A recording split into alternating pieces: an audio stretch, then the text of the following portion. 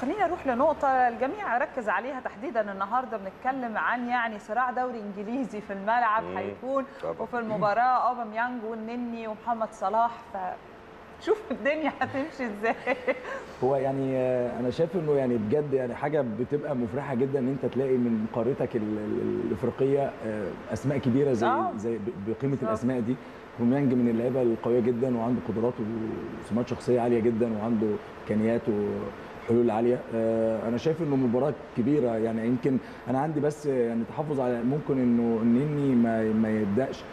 آه، ممكن صلاح برضو يعني ما أعرفش ممكن يعني يتم الاستعانة بيه النهارده أو لأ يعني أو يعني ما فيش حاجة متوقعة آه، آه، مع ما هو ده العجيب. نبقى. يعني ما هو ده. للأسف للأسف إحنا مش عارفين مش عارفين وجهة نظر مستر على فين، آه آه. مستر كروش مش عارفين هو وجهة نظره إيه أو هو أو المنطق اللي يخلي. النني يلعب عليه man to man هو هو ان هم عارفين بعض وعارفين تحركات بعض ويقدر ي- بالظبط. لكن هو يمكن النني اللي هو اللي قدام شوية آه، يمكن بوميانج أو بوميانج بيلعب آه، مهاجم النني بيلعب في نص الملعب فممكن ممكن دور النني إن هو يقدر يدي نصايح للي هيلعب عليه سواء الونش أو سواء حجازة أو ايا كان ال- الخط ال- ال defense بتاعنا الدفاعي.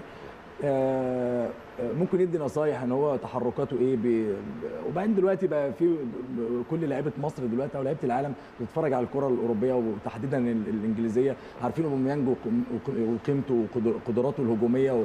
وإمكانياته. فأكيد ده معمول حسابه بشكل كويس وأكيد مستر كروش يعني آه، آه، شاهدوا مباريات لأوباميانج في الفترة الأخيرة مع منتخب آه، الجابون. وأكيد هو آه، اللعيبة نفسها أكيد دارسة بشكل كويس ودلوقتي بقى تقدر تقطع الاوباميانج أو أو غيره من من من اللاعبين العالميين تقدر تقطع لهم مشاهد ومقاطع وتقدر تتابعهم بشكل كويس. لكن أنا شايف إن هو طبعا قيمة كبيرة جدا النهارده.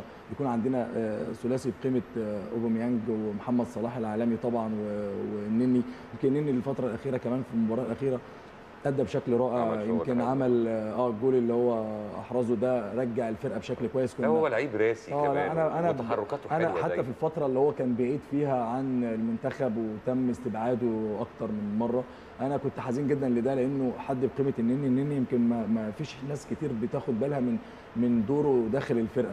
لعيب بيعرف يتحكم في رتم المباراة بشكل كويس جدا بيعرف يقف على الكورة بصير كويس عنده ثقة وعنده طبعا.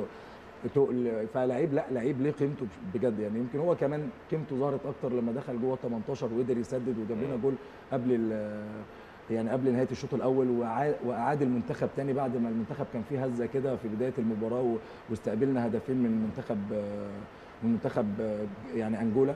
فطبعا إحنا لا أنا شايف إن هو دور النني دوره كبير جدا جدا مع المنتخب. وأنا شايفه هو من أكتر الحاجات اللي مستر كروش أعادها للمنتخب من جديد. هو اعاد أعاد محمد النني لقيمته تاني ومكانته تاني داخل منتخب مصر.